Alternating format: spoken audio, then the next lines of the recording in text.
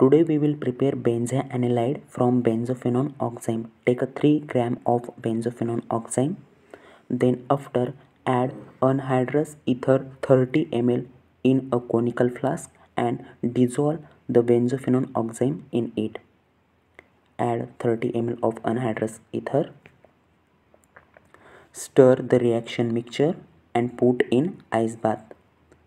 After that, add 4.5 ml of thionyl chloride. It's carcinogenic and irritation occurs in eyes. Be careful.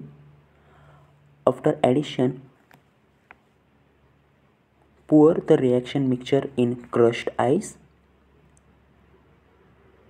Be careful, our complete solution is poured into crushed ice which results on our yield.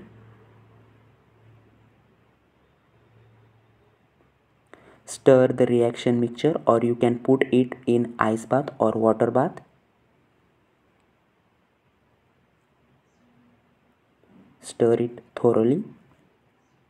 Then after filter our reaction mixture or reaction residue. Wash with water and recrystallize from alcohol dry and its melting point about 163 degrees celsius. Benzophenone